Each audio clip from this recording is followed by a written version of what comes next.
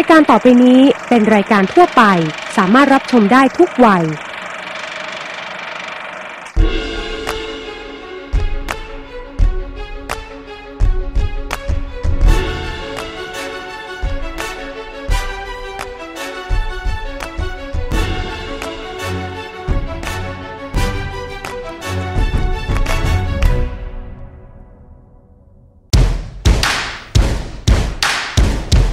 ขอต้อนรับเข้าสู่รายการ The Ultimate Property Insight รายการข่าวสารและวิชาการทางด้านอสังหาริมทรัพย์ ครบถ้วนรอบด้านทุกมิติ ประเทศไทยขณะนี้เรากำลังก้าวไปสู่อีกยุคหนึ่งแล้วคนไทยรุ่นใหม่เก่งนะครับและคนไทยรุ่นใหม่รวยมากด้วย Brexit ก็คือการที่อังกฤษจะออกจาก EU มีผลยังไง เราต้องการที่จะทำโปรดักที่คอมบ n e ระหว่างความเป็น natural green อืมกับไลฟ์สไตล์ของคนในเมือง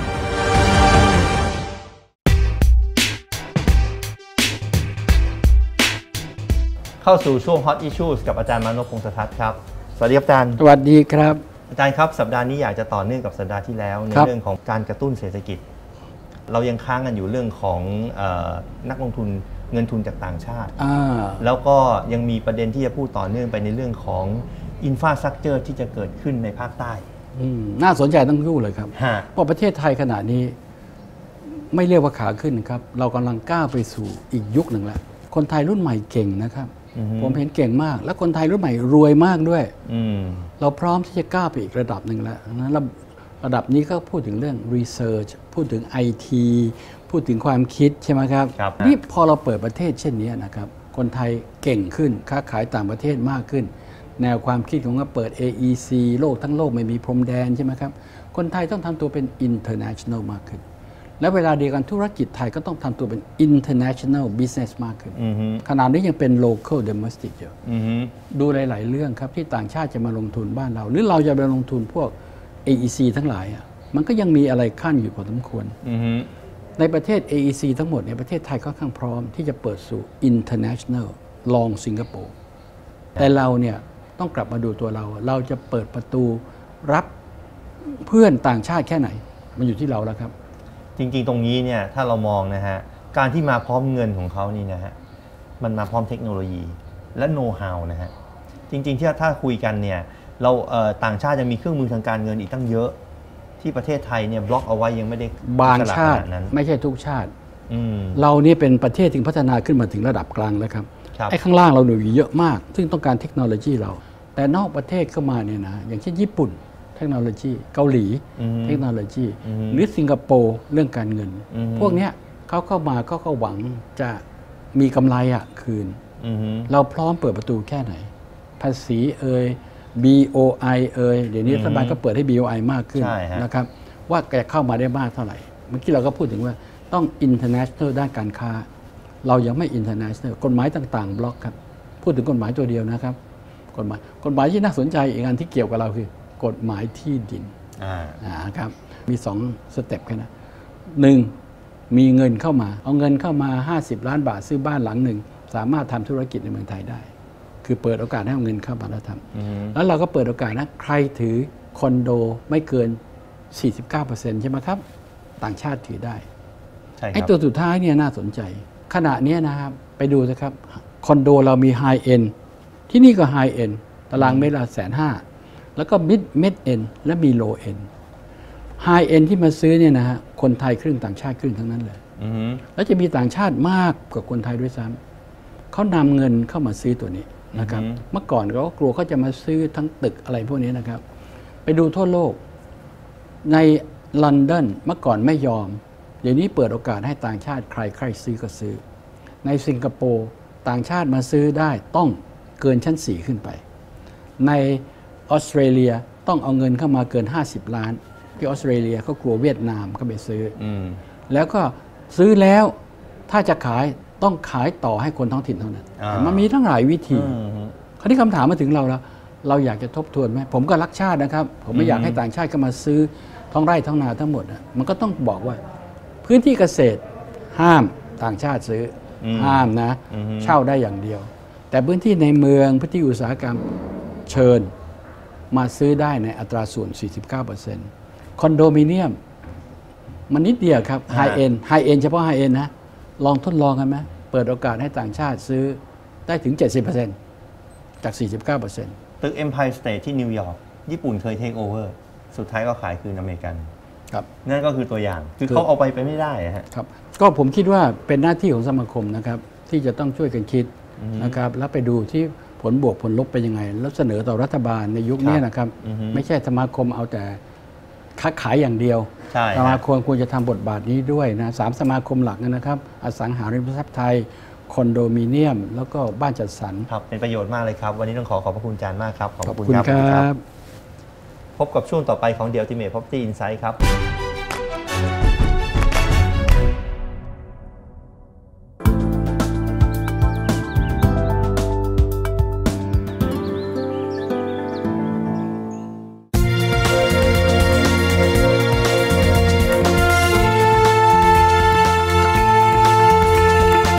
พบกับงานแสดงสินค้าไลฟ์สไตล์และของแต่งบ้านอินเทรนด์ในงาน Home and Else ณชั้น 1 Home Pro Walkway ศูนย์การค้าเมกะบางนา วันที่ 25-31 กรกฎาคม 22-28 กันยายน 24-30 พฤศจิกายน และวันที่ 22 ธันวาคม ถึง 3 มกราคม 2560 สอบถามรายละเอียดที่บริษัท Organizer IQ จำกัด โทรศัพท์ 02 158 9222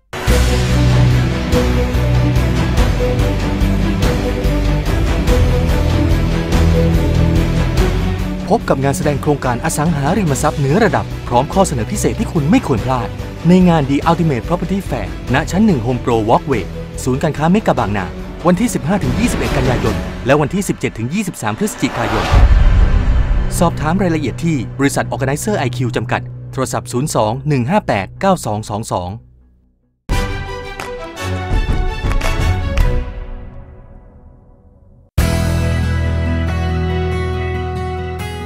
เข้าสู่ช่วง Expert Talk กับอาจารย์เลิศมงคลและอาจารย์ธีรวัตรครับ สวัสดีครับ สวัสดีครับ อาจารย์ครับวันนี้เนี่ยอยากจะให้อาจารย์เนี่ยนะฮะลองวิเคราะห์เรื่องของการลงทุนอสังหาริมทรัพย์นะฮะที่มันมีเรื่องของค่าเงินมาเกี่ยวข้องครับนะฮะโดยเฉพาะ situation ณปัจจุบันเนี้ย Brexit ครับนะครับมันมีโอกาสในการที่จะอ่าสร้างผลกำไรหรือทำอะไรกันอย่างนี้ไหมฮะ Brexit ฮะเอ่อก็คือการที่อังกฤษ จะออกจาก EU นะครับอ่านะมีผลยังไงนะใช่ผลฮะเบื้องต้นเลยนี่ก็เราก็เห็นทองคำขึ้นนะฮะเอ่อราคาเอ่อเงินเงินปอนด์ลดลงนะครับเอ่อเมื่อเกิดความแตกต่างของค่าเงินลักษณะอย่างเนี้ยนะฮะเอ่อเป็นธรรมดาของเอ่อนักลงทุนนะฮะที่กำเงินต่างสกุลอยู่เนี่ยนะครับ ย่อมไปหาที่ที่มีผลตอบแทนสูงกว่านะฮะถ้าเป็นในกรณีนี้ผมนิยามสั้น ๆนะครับนะฮะว่า ของก็จะถูกลงใช่หรือไม่ ตามอ่าฮะสายตาคนซื้อต่างชาติที่ถือเงินสกุลอื่นอยู่ใช่ถ้าเราถือเงินสกุลดอลลาร์อยู่ ถือเงินบาทอยู่ ถือเงินเยนอยู่ ที่มีค่าเงินที่แข็งกว่านะครับดังนั้นก็จะเป็นโอกาสที่จะไปซื้อของถูกได้ในช่วงนี้อือฮึครับมีเคสบริษัทบริษัทไทยเคยไปลงทุนในยุโรปนะครับตอนนั้นซื้อประมาณสัก 120 ล้านเหรียญอือฮึก็เป็นเงินประมาณสัก 3,000 ล้าน นะครับแต่นี้พอพอค่าเงินบาทไทยลงไปเหลือครึ่งหนึ่งเนี่ยเขาขายที่ 100 ล้านเหรียญนะครับ100ล้านเหรียญก็ขาดขาดทุนไป 20 ล้านเหรียญอือฮึนะครับแต่ว่าได้พอแลกเป็นค่าเงินบาทที่ 50 บาท มันได้เงินกลับมาสองเท่า5,000 ล้านอ่าฮะนะครับอืมแต่คราวนี้ก็จะเป็นเคสอย่างนี้เหมือนเหมือนที่เราเกิดขึ้นในอังกฤษเนี่ยนะครับอืมอังกฤษก่อนที่จะ Brexit เนี่ย ค่าเงินปอนด์อยู่ประมาณสัก 50 บาทต่อหนึ่งปอนด์นะครับหลังจาก Brexit แล้วล่วงไปอยู่ประมาณสัก 45 บาทอือฮึนะครับลงไปประมาณสัก 10 กว่าเปอร์เซ็นต์แล้วครับนะครับก็เสมือนหนึ่งว่าทรัพย์สินในทุกอย่างที่อยู่ในรูปของปอนด์เนี่ยลดราคาไปด้วย อย่างในกรณีค่าเงินเวียดนามนะอืฮะมค่าเงินดองเนี่ยนะครับฮะ ย้อนหลังไป 20 กว่าปีเนี่ยนะฮะเงินดองเองมีอัตราเงินเฟ้อเนี่ยอยู่ประมาณปีละ 10 กว่าเปอร์เซ็นต์บางปีขึ้นไปถึง 20เปอร์เซ็นต์นะฮะอืมเอ่อก็จึงมีผลทำให้ค่าเงินเมื่อตอนลงทุน กับค่าเงินเมื่อตอนเอ่อโครงการสำเร็จแล้ว หรืออมจบโครงการแล้วเนี่ยนะครับไม่สามารถที่จะเอาเงินดองที่กำไรนะครับเอ่อเพราะต้องใช้เงินสกุลท้องถิ่นถูกไหมฮะใช่ฮะเอ่อตอนที่กำไรแล้วเนี่ยกำไรจากธุรกิจนะครับ แต่ขาดทุนจากค่าเงิน อันนี้คือภาวะเศรษฐกิจในเอ่อกลุ่มที่เป็น emerging market นะฮะ ที่อยู่รอบๆ AEC ไทยเนี่ยต้องให้ระวังเรื่องค่าเงินมากๆ เพราะฉะนั้นการลงทุนต่างประเทศของนักพัฒนาอสังหาริมทรัพย์ไทยเนี่ยนะฮะผมคิดว่านอกจากดูในเรื่องของตลาดแล้วเนี่ยนะครับไอ้เรื่อง currency เนี่ยเอ่อเป็นเรื่องที่เอ่อจำเป็นอย่างยิ่งนะครับประเทศที่เศรษฐกิจพึ่งพาน้ำมันมาเลหรือแม้กระทั่งรัสเซียเนี่ยค่าเงินลงไปประมาณสักครึ่งหนึ่งนะครับ สมมุติว่าสมัยก่อนซื้อสักเกือบ 10 ปีที่แล้วเนี่ยรัสเซียซื้อไว้บ้านหลังหนึ่งประมาณสัก 8 ล้านนะครับ8ล้านเนี่ยเอ่อผมไปเมื่อ week ที่แล้ว คนไทยยังขายกันอยู่ 10กว่าล้านนะแต่รัสเซียนี่ขาย 7 ล้าน ขายขาดทุน เราก็ดูเหมือนว่าเอ๊ะรัสเซียน่าจะขาดทุนนะแต่ว่าเขาขาดทุนไปประมาณ 10%ถ้ามอง in term ในในค่าเงินบาทนะครับแต่ทำไมขายอะ แต่เขาได้กำกำไรจากค่าเงิน 50%เพราะว่าเวลาแลกกลับไปจากเงินบาทแลกกลับไปเป็นรูเบิลเนี่ยมันขึ้น 50%ฉะนั้นบวกลบไปแล้วเขากำไร 40%นะฮะอ๋อ กลายกลายเป็นว่าการการขาย asset ในเมืองไทยเนี่ยอาจจะเกิดจากประเทศที่ค่าเงินตกต่ำเองนะครับ ฉะนั้นถ้านี่ถ้าค่าก็เป็น ค่าเงินเขาตกต่ำมากเนี่ยขาย asset อื่นๆเนี่ยก็จะได้กำไรนะครับ อันนี้ก็เป็นเรื่องเรื่องส่วนใหญ่ก็จะเป็นเรื่อง real estate ชิ้นใหญ่ๆก็เป็น real estateนี่คือสิ่งที่เห็น โอเคครับสำหรับประเด็นวันนี้ก็เป็นการจุดประกายความคิดนะให้แก่ท่านผู้ชมนะฮะครับสำหรับวันนี้ต้องขอขอบพระคุณอาจารย์ทั้งสองนะครับ สวัสดีขอบครับ คุณครับ พบกับช่วงต่อไปของ The Ultimate Property Insight ครับ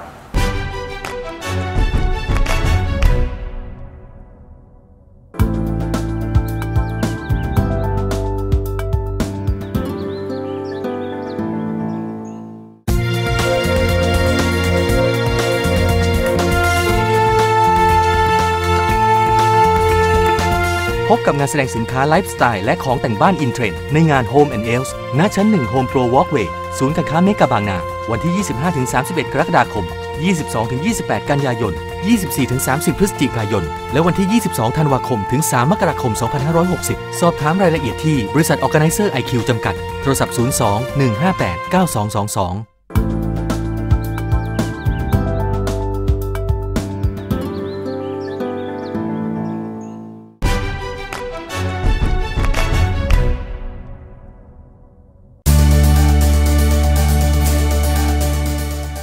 เข้าสู่ช่วง Property Focus ครับ ขณะนี้ผมอยู่ที่ sales gallery ของ Urbitia ทองหล่อ ในซอยสุขุมวิท 38 นะฮะ ได้รับเกียรติจากคุณเศรษฐวัฒน์ตั้งวัชรพงศ์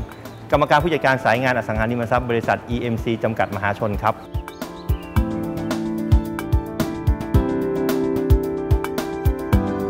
สวัสดีครับ สวัสดีครับ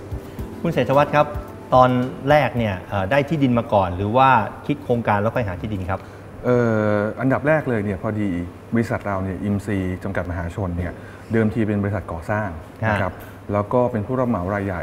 นะครับอืมทีเนี้ยเรามีแนวเอ่อมีความแนวความคิดว่าจากบริษัทผู้รับเหมาก่อสร้างเนี่ยเราอยากจะเป็น developer เองอืมเราต้องการจะพัฒนาอสังหาริมทรัพย์ในเมือง หลังจากนั้นเราก็เลยพยายามสอหาที่นะครับอืมที่เป็นที่ดินใจกลางเมือง แนวเส้นสุขุมวิทนะครับผมอ๋อฮะ แล้วแล้วพอได้โครงการได้ที่ได้ที่ดินนี้มาเนี่ยฮะคิดอย่างไรฮะถึงจะทำจับตลาดนี้ครับคือเรามีความเชื่ออย่างนี้ครับในเรื่องของตัว real estate เองเนี่ยท่านจะเห็นได้ว่ามันมีการพัฒนาขึ้นมาอย่างต่อเนื่องนะครับอือฮึแล้วก็เติบโตมามากตามแนวรถไฟฟ้าอือฮึแต่อย่างไรก็ดีเนี่ยในเรื่องของไลฟ์สไตล์นะครับมันก็ยังอยู่ในถนนบางไม่กี่เส้นนะครับอือฮึไม่ว่าจะเป็นถนนสีลมครับสุขุมวิทนะครับเพราะฉะนั้นเนี่ยเราต้องการที่จะทำ product ที่ combine ระหว่าง ความเป็น natural green อืมกับไลฟ์สไตล์ของคนในเมือง เราก็เลยมองดูศักยภาพทำเลของที่ดินตัวเนี้ยนะครับตัว site เองเนี่ยที่ตั้งมันเนี่ยห่างจากสถานีรถไฟฟ้า BTS นะครับทองหล่อครับ station เนี่ย 230 เมตรเท่านั้นเองครับเรียกว่าเดินประมาณ 3 นาทีก็ถึงอือฮึนะครับ นอกจากนี้เนี่ยซอย 36 เนี่ยก็เป็นแหล่งที่สามารถจะไปทะลุนะครับอ่าถนนพไประรามที่สี่ไปพระรามสี่ออกทางด่วนได้ อีกอย่างหนึ่งคือด้วย ด้วยปัจจุบันเนี่ยท่านจะเห็นได้ว่าจะหา low rise 8ชั้นที่มีความส่วนตัวสูงเนี่ยอือฮึอยู่ในทำเลที่ดีขนาดเนี้ยค่อนข้างยาก ตรงส่วนตรงนี้เนี่ยฮะเอ่อคาดหวังถึง target group เนี่ยเป็นใครบ้าง target group ครับบอกได้เลยครับคือคนเมืองนะครับที่ชื่นชอบไลฟ์สไตล์อืมในขณะเดียวกันเนี่ยก็ยังแสวงหาในเรื่องของธรรมชาติอืม Natural ความกรีนซึ่งอยู่นะครับกลางเมืองด้วยซึ่งอยู่กลางเมืองด้วยอืมโครงการนี้นะฮะเรานำไอเดียการปลูกต้นไม้ นะครับมาไว้ในอาคารอืม145 ต้นเป็นต้นไม้ใหญ่ทั้งสิ้โอ้นโห ในรอบตึกนี้เลยนะ ใช่ครับอืมน่าสโดนใจจริงโดยเฉพาะเนี่ยชั้น 8 ดาดฟ้านะฮะเราเชื่อว่าน่าจะเป็นต้นไม้ที่ใหญ่ที่สุดในกรุงเทพที่สามารถวางไว้บนคอนโดได้โอ้โหทำเป็นบ้านต้นไม้เลย คุณเศรษฐวัฒน์ครับในรายการเราเนี่ยจะมีการวัดเอ่อหน่วยการลงทุนคือวัดยิวนะฮะครับเรียกว่า cap rate เนี่ยนะฮะ yield มันจะอยู่ที่ประมาณเท่าไหร่ครับครับ ในส่วนของผลประโยชน์ที่สมมุติว่า ท่านมีเงินเป็น investor อืมนะครับท่านอยากจะลงทุนปล่อยเช่าเนี่ยยิวของ area เนี้ยนะครับน่าจะได้อยู่ประมาณ 6%กว่าอ๋อนะครับฮะ6%กว่า อย่างนี้เราไปดูตรงโมเดลดีไหมฮะได้ครับผมครับครับ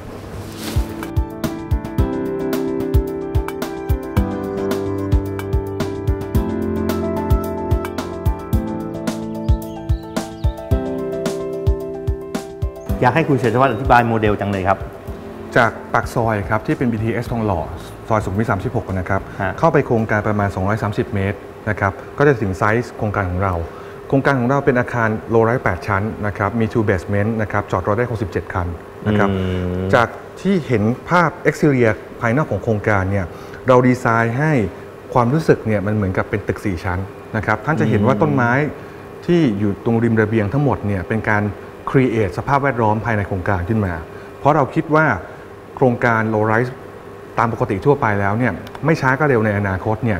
อาจจะมีตึกขึ้นมาข้างๆ เพราะฉะนั้นเราก็เลือกที่จะสร้างเรื่องของกรีนนะครับเรื่องของสิ่งแวดล้อม แล้วก็ cre- create surrounding ให้ด้วยตัวเองนะครับอืมถ้าจะเห็นจากด้านนอกเนี่ยท่านจะเห็นเหมือนกับเป็นดูเพล็ก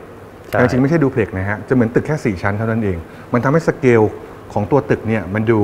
เล็กลงบางลงนะครับ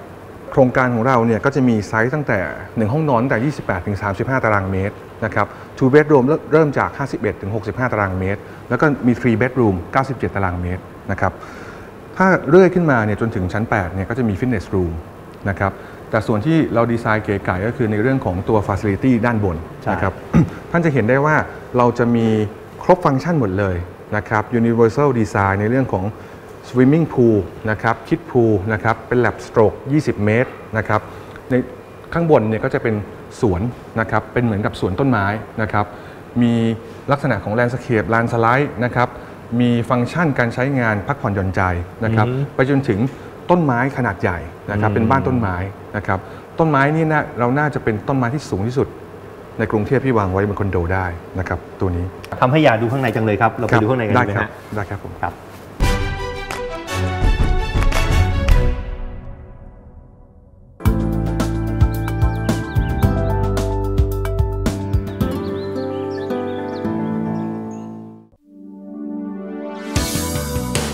Lotte Automatic Parking ระบบจอดรถอัตโนมัติชั้นนำจากประเทศเกาหลีใต้ พบสุดยอดนวัตกรรม ระบบจอดรถอัจฉริยะแห่งอนาคต เพื่อเพิ่มพื้นที่ขาย ลดต้นทุนการก่อสร้าง ลดต้นทุนด้านการบริหารจัดการ ก่อสร้างได้อย่างรวดเร็ว เหมาะสำหรับอสังหาริมทรัพย์ทุกประเภท สอบถามได้ที่บริษัท Power IQ จำกัด ตัวแทนนำเข้าและจัดจำหน่ายอย่างเป็นทางการรายเดียวในประเทศไทย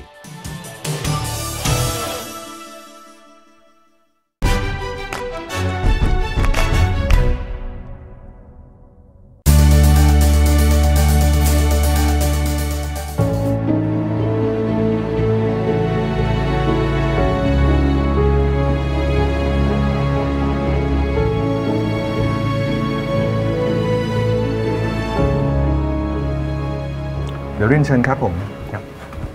อันนี้จะเป็นเอ่อห้องตัวอย่างของเรานะครับฮะไซส์ 35 ตารางเมตรนะครับ ก็อืมเข้ามาแล้วเนี่ยจะเห็นได้เลยว่าห้องไซส์ 35 ตารางเมตร ซึ่งแต่สมัยก่อนเนี่ยเป็นแค่ไซส์สตูดิโอนะ ใช่ฮะแต่พอจัดฟังก์ชันดีๆเนี่ยมันให้ความรู้สึกอืมโล่งโปร่งและน่าอยู่ floor to ceiling เราเนี่ยสูง2เมตร55อ๋อนะครับแล้วคือเราดันให้มันสูงขึ้นไปนะครับแล้วก็ถ้าดูตามพื้นที่ใช้สอยนะตรงเนี้ยครับท่านจะเห็นเลยว่า ฟังก์ชันการใช้งานมันเป็น full flow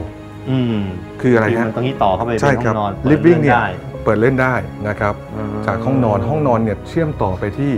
walk-in closet อืมที่เซนเ e อร์นะครับอืมแยกชายหญิง ต่อไปที่ห้องน้ำห้องน้ำเสร็จออกมาห้องครัว แล้วก็มาที่ living room ใหม่อืมเพราะฉะนั้นก็คือมันไหลถึงกันหมดเลยไลน์กันหมดเลยอืมทุกตารางเมตรเนี่ยมีประโยชน์ในการใช้งานหมดเลย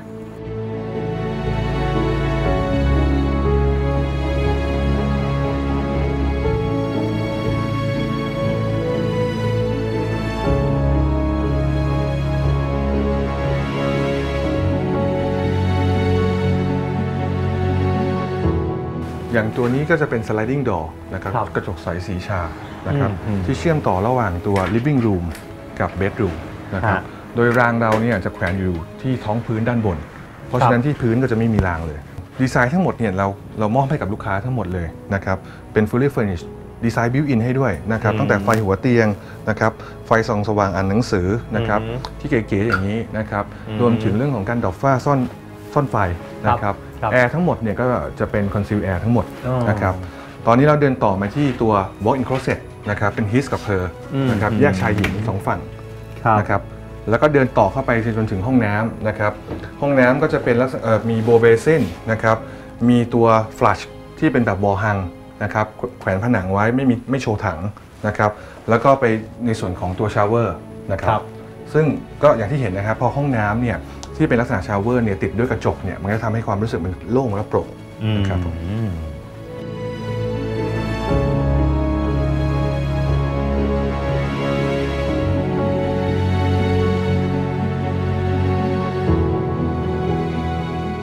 ส่วนต่อไปนี่ก็จะเป็นในส่วนของโซนมัลติฟัง c t ชันนะคครัรับบแล้วก็ตัวนี้เป็นในส่วนของตัวหน้าต่างนะครับอืมสำหรับหน้าต่างของโครงการ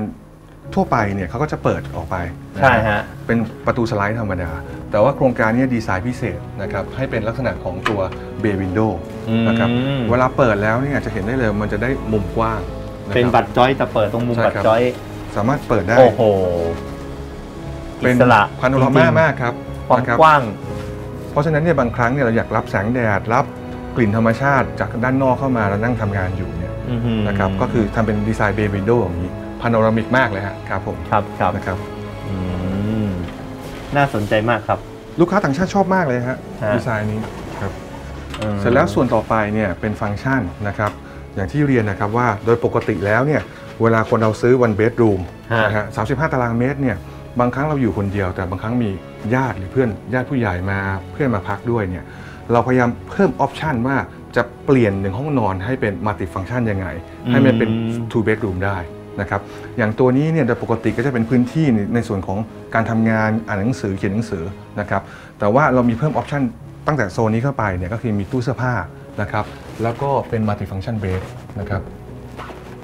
โอ้เป็นเตียงพับได้ครับโหในขณะที่ผมยังยืนอยู่ตรงนี้ได้อีกนะฮะครับผม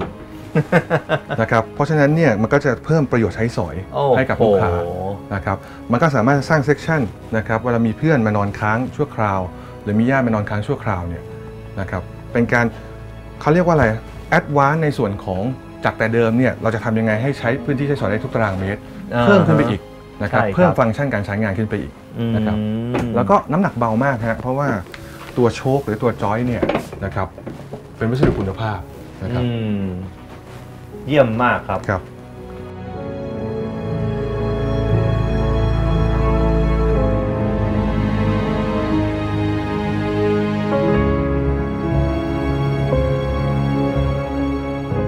ครับคุณเศรษฐวัฒน์ครับครับ โครงการนี้เป็นโครงการที่นอกจากจะมีคอนเซปต์ในการออกแบบครับที่ดีมากmaterial ก็ดีมาก แถมคุณก็ให้ราคาที่ดีมาก แล้วก็แถมของเยอะแยะมากมายครับผมยอดขายเป็นไงบ้างครับ ยอดขายณปัจจุบันเนี่ยคือเรา presale ไปแล้วฮะวันที่ 2 เมษายนโอ้ฮะ85%นะครับเราเก็บไว้ 15%เนี่ยอืมนะครับทยอยทยอยขายนะครับอืมอย่างนี้ถ้าผู้ที่สนใจอยากจะซื้อเนี่ยฮะ ครับติดต่อได้ที่ไหนครับ หรือได้มาหาได้ที่ไหนบ้างฮะหากจะเอ่อต้องการเยี่ยมชมห้องตัวอย่างนะครับ ตัวโชว์รูมของเราเนี่ยอยู่ที่ซอยสุขุมวิท 38ห่างจากปากซอยประมาณ 400 เมตร อยู่ด้านซ้ายมือนะครับอืมหรือหากสนใจเนี่ยอยากสอบถามข้อมูลเพิ่มเติมนะครับ สามารถโทรเข้ามาได้ที่เบอร์ 023814888 นะครับ หรือเข้าไปดูที่เว็บไซต์รายละเอียดข้อมูลเบื้องต้นของเราที่ www.urbitia.com ครับผม คุณเศรษฐวัฒน์ครับ ในอนาคตนี้ EMC จะทำโครงการดีๆ อย่างนี้ออกมาอีกบ้างไหมฮะ แน่นอนครับนะครับอืมเรามีแพลนว่าประมาณช่วงต้นปีหน้านะครับอืมคงจะได้เห็นโครงการใหม่เรานะครับร้อนออกมาในตลาดครับผมฮะงั้นสำหรับวันนี้ต้องขอขอบพระคุณมากครับครับ สวัสดีครับ ขอบคุณครับ พบกับรายการ The Ultimate Property Insight ได้ทุกเช้าวันเสาร์ 10 โมง 5 นาทีถึง 10 โมงครึ่ง ทางช่อง TNN 24 และชมรายการย้อนหลังได้ทาง www.upitv.tv ครับ ขอบคุณครับ